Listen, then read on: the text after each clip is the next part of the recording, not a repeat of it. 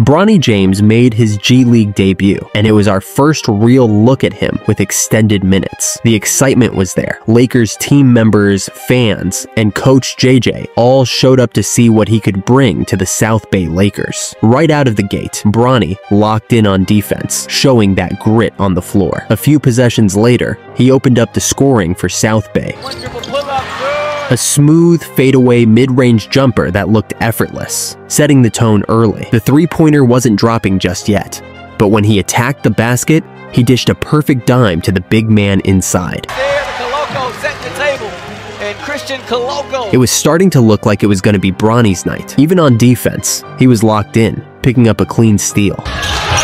James, the theft, three on. But beyond the arc, the shots just weren't falling and as the game went on, it became clear Bronny was focusing more on facilitating. He was setting up teammates, driving into the paint to draw defenders. But with this being the G League, expectations were high for Bronny to put up more points. He had a few early chances, like a clean cut in the first quarter, where he fumbled the ball and a drive, where he missed a wide open layup. Those small missed opportunities added up, and it seemed like he was still adjusting to the pace and physicality of the game. However, on defense, it was a different story. Bronny was clamping down on every guard he marked, applying relentless pressure and making every possession difficult. His hustle and defensive IQ were on full display, and he turned that energy into fast breaks and his facilitating skills.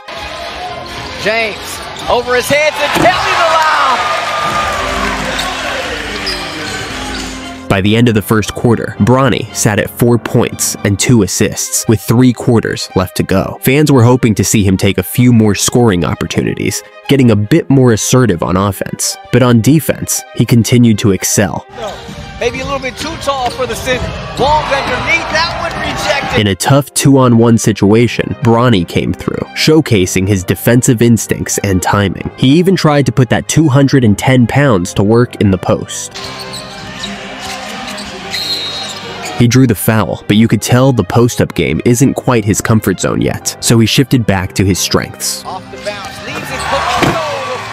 He found the big man with a slick pass, keeping the offense flowing and showing that Bronny's got a natural feel for the game, even when he's not scoring. Bronny added another two points with a smooth floater, but spoiler alert, that was the last time he scored in this game. In the second half, he struggled to find his rhythm. His handles got a bit loose, his finishing at the rim turned sloppy, and he seemed just a bit too predictable. But it's important to keep expectations realistic. Bronny's recent performances have been mixed, and even back in college, his play was solid, but didn't showcase anything extraordinary. Where he truly shone in this game was on defense, showing smart positioning and quick hands to grab some impressive steals. But as the minutes ticked on, his game fitness showed up as an issue. You could see the lack of rhythm, and the play got a bit sloppy toward the end.